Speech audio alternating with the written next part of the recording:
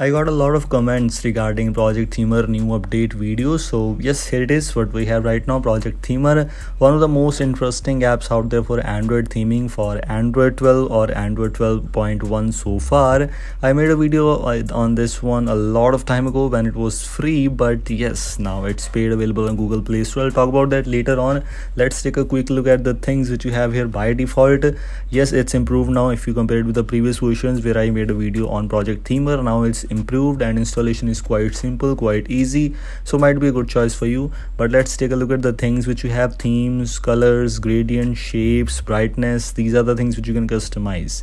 If you move on and take a look at the themes one thing which is quite interesting i found here is the gradient one. Looks quite good by the way.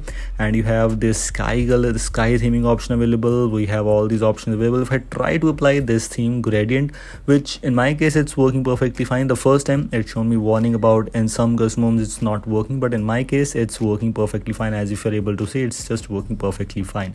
So it looks quite good. If you want to use this thing you can. You can see without reboot my device has this kind of theming quick settings panel. It's just working.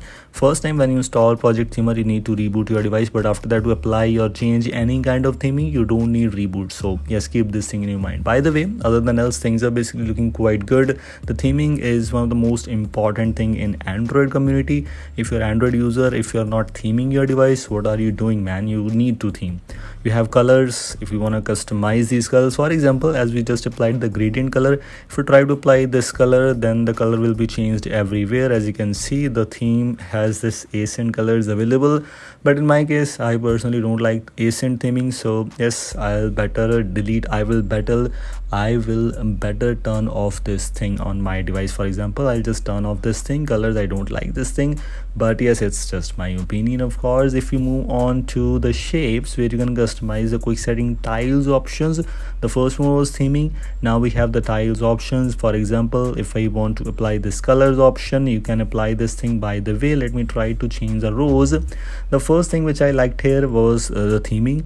But the bug which i got here is this. As you can see it's still showing as 4 while i had tried the 5 by the way it might be the conflict it might conflict with the default uh, custom ROM as i'm using riceDroid so things might be changed here but that's not a big deal. If you restart your system yeah things might work for you but yes most of the things should definitely work for you. So yes might be worthy if you want to try it out on your device. I also tried this it was working fine too didn't got any kind of major issues so far after using this thing. And this is about this project themer this is something new which we have. You can even customize the brightness sliders. This is a brightness slider right now which i have. I can even customize the accent colors. Now i also have the option to customize like the gradient brightness slider. For example i tried this. As you can see without any reboot without any system restart this theme is applied successfully.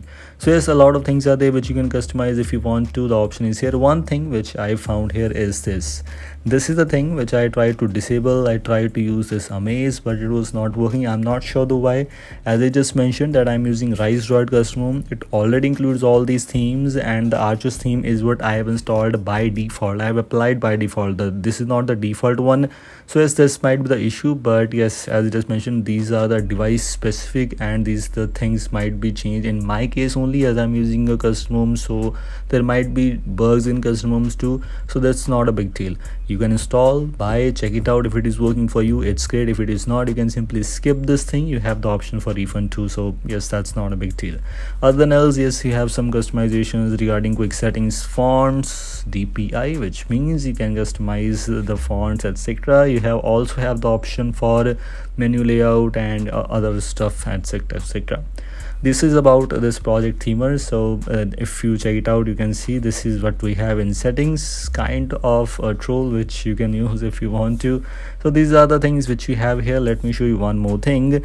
If you want to use this thing you need to download it from the google play store and yes i have as if you are gonna comment that i'm using a pirated app don't. I'm using official version from google play store. You can see that i have the option for refund so yes i purchased it. If you want to if you want to purchase it you can. Link is already there. And this was all. Thanks for watching and goodbye